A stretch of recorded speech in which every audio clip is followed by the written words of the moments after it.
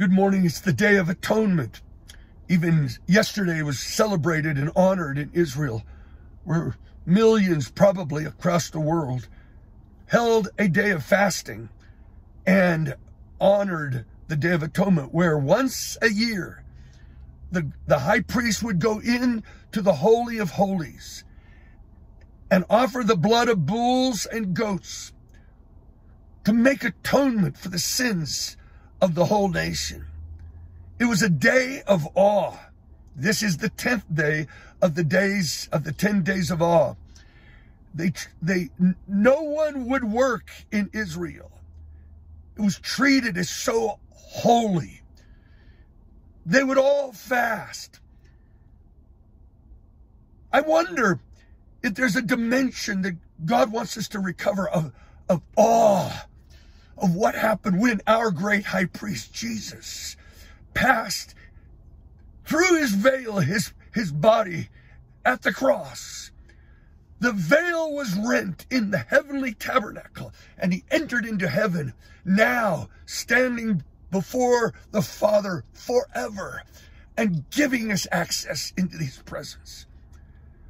I, I, I want to stand today in, in a sense of great awe and the power of the blood that atones for our sins. Today, on this day of atonement, our community is going on at three o'clock to offer up, uh, to remember the blood of, of Jesus Christ, our great high priest. We will celebrate his mercy toward us. But we will also be entering into his intercessions, the one who has entered into the presence of the Lord now ever making intercession for us, that we might pray that the veil that has already been rent through his body still covers the eyes of the Jewish peoples that cannot see. There is a veil. It's hidden. Before that, they cannot see the light of the glory of God in the face of Christ. Today, on this day of atonement, I just want to pray with, and we're doing it with our community rip the veil that's over their eyes so that they could see. Could we dare to believe even today that there will be thousands of Jewish peoples having dreams of Yeshua, drawn to the scriptures, don't even know why, that, that laborers would be hurled forth this day, divine appointments, and men and women of, of Jesus' own people, the Jewish peoples, would behold the Lamb of God that taketh away the sins of the world. Would you join us today? And let's be praying for that. Secondly, on that day uh, at three o'clock, the day Jesus, at the time Jesus died, we are praying God that that we would be bringing the, the blood, not of, uh, of goats and bulls, but the blood of Jesus in intercession to bring it before the throne of Christ on behalf of America where 60 million babies' blood cries out from the God, God uh, from the ground for vengeance. We would plead a better blood that speaks better than the blood of Abel crying judgment. Mercy, mercy. Today, we are crying out, Jesus, I plead your blood over my sins and the sins of my nation. God, have mercy. God, end abortion and send revival to America. Would you believe for me today?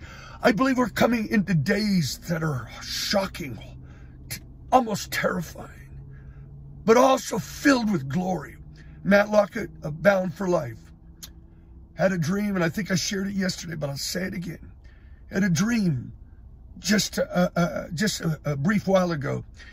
It he heard a dictation coming from God, a voice, not a dream, but a voice, and the voice was this: "I will roar over the oppressed." I will suffer their oppression no longer. Woke up in a sense of shock, almost terrified, and at the same time rejoicing. You see, when Jesus comes to judge for the oppressed, it is terrifying, but he's also coming mighty to save. I have a feeling God is coming to deal with this nation on the blood of 60 million babies, let alone all of our sins. There is a blood that speaks better. It's the blood of the Lamb. I believe he's coming in judgments.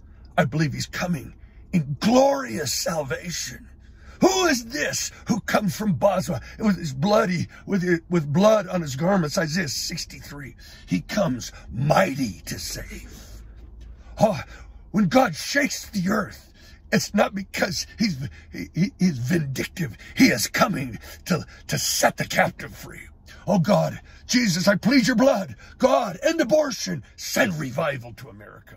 This is the day of atonement. Let's walk in a sense of awe this day and every day at the glorious salvation of our Savior. Bless you.